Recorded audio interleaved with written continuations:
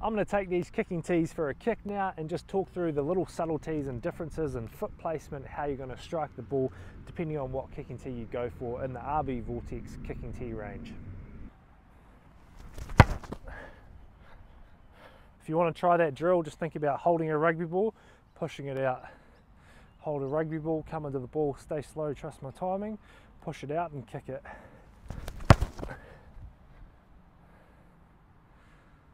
Welcome to this Rugby Bricks RB Vortex kicking video. Now before we get into the kicking tees, I do want to talk about this wristband. So with every kicking tee that you purchase from Rugby Bricks, we send you out one of these RB Outwork, Outlearn wristbands. Now they come in the same color as the kicking tee. It's got the message of outwork and outlearn. That's our big mantra that we live by, we work by. So outworking people, outlearning people, putting detail into your kicking technique, everything that comes down to the game of rugby outwork and outlearn people. So you'll get one of these with your kicking tee purchase. Down here I've got the three RB Vortex kicking tees. We've got the low cut, the mid cut and the high cut and I'm going to go into detail on each. So where are these kicking tees made? All of them are made and designed in New Zealand. The guy at JTech Plastic, Jason in Dunedin, one of my hometowns, helped me build these kicking tees. It was a really fun process. We put so much time and energy, especially into these Vortex range.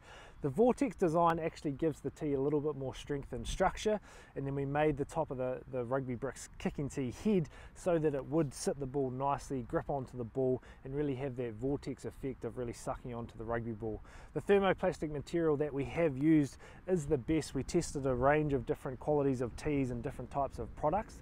We found that this one here really grabs onto the rubber of a rugby ball and really adds to that grip effect. Let's talk about the height of the tee. So the low cut 76 mm millimeters, the mid cut 92 millimeters, and the RB Vortex high cut 112 millimeters. All of the tees have got the same design at the top, so the Vortex and also the top of the Vortex head. It just allows you so that when you're placing this ball on the tee, it doesn't matter what angle you want to sit the ball at, the tee grabs onto it even if you want a really upright ball or you really want to flatten things out, that tee is going to be nice and stable. The material is going to grab onto the rugby ball and really give you a nice stable base to, to kick from. And then finally, just the base, we wanted to have a nice stable base. Often on, club fields where the grass is slightly longer, you want to have that tee that you can really mold into the grass and have a nice stable base. So it doesn't matter on what field you're playing on, you know that you can trust these kicking tees to do the job. One thing that I really enjoy about the RB Vortex tees is you can personalize how you place the ball. So for me, I like quite an upright ball on the mid-cut kicking tee, and I like to roll my seams in slightly. So just rolling those seams in slightly. And the kicking tee really allows me to do that every time. So however I want to sit this ball, I can go to the back of my mark. If I see I need to change it, I can change it and the tee allows me to do that.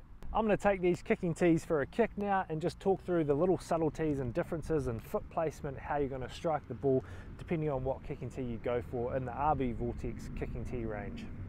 First tee I'm going to kick with is the RB Vortex Low Cut. I love using this tee because for my style and technique it means that I can get that extra sort of punch up the back of the ball. If you're someone who's, who's coming from a low tee or never kicked before, the low cut and the mid cut is a really good place to start because it sits that ball up nicely and it just means that it's probably the most natural position to kick the ball in. So I'm going to set this ball up now and, and have a strike but as you can see the height is really going to allow me to have space and clearance to make a nice strike with the ball. And again, if you're coming from a slightly lower tee and you're wanting to get a little bit more uh, range on your kicks and a little bit more room to get your foot through and, and up the back of the ball, I think the low cut is a really good place to start. I use the term about getting your foot up the back of the ball quite a lot. So when you kick off a low kicking tee or you're kicking your soccer ball, generally your foot's quite low to the ground and on about that angle there. So it's still nice and strong and powerful. There's nothing wrong with this foot placement, but some kickers enjoy having their foot up the back of the ball slightly more. So instead of being in this position here, I really get up the back of the ball and making contact more like an out of hand kick when we're punting the ball. So as you can see there, you can see the studs on my boot. It just means that I'm getting up the back of the ball slightly more. If this style and tee suits you, it's a really good way to go about goal kicking. So this here is the RB Vortex low cut kicking tee. This tee really suits my style, both the mid cut and the low cut. Um, really allows me just to get a nice strike, nice straight ball flight. Stay slow, trust my timing.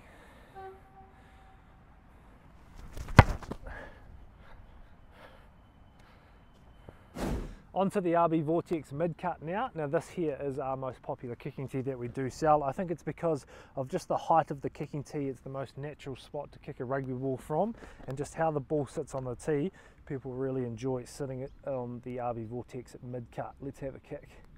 One drill that I quite often get kickers to do is think about having a rugby ball in their hands. So they're, they're back here, they've got a rugby ball in their hands. As they come in, pushing that rugby ball out and then thinking about making impact. I think that's why the mid cut and the high cut are so popular because it's so close to kicking out of hand and why people can get those nice big strikes through the rugby ball. So if you want to try that drill, just think about holding a rugby ball, pushing it out. Hold a rugby ball, come into the ball, stay slow, trust my timing, push it out and kick it.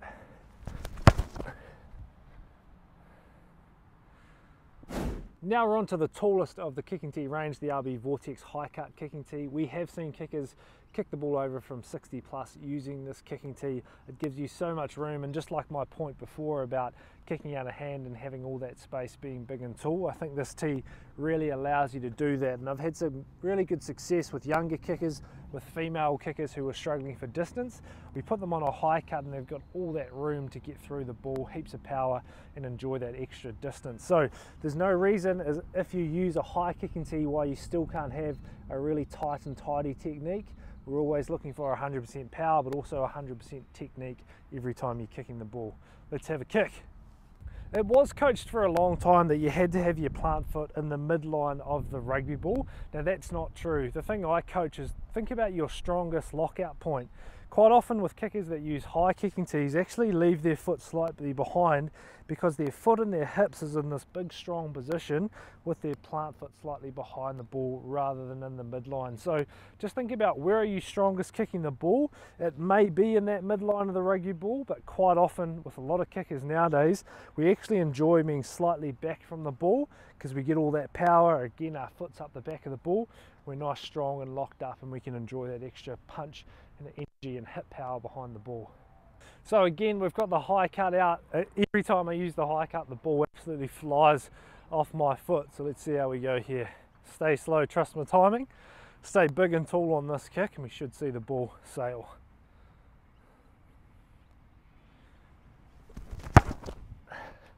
Big strike again, heaps of hang time. Thanks for watching team. That there is the RB Vortex range, the low cut, the mid cut and the high cut. I'm so proud of these kicking tees, the work, the effort the team put into making these and getting them around the world to over 55 countries now. Click the link below, you'll take you straight to the website where you can purchase these kicking tees and be kicking before you know it. Lastly, remember you do get one of these wristbands with that outwork, outlearn message. It's the thing that I always try to get into kickers. You've got to outwork people, you've got to outlearn people. Uh, I really look forward to seeing you using one of these kicking tees.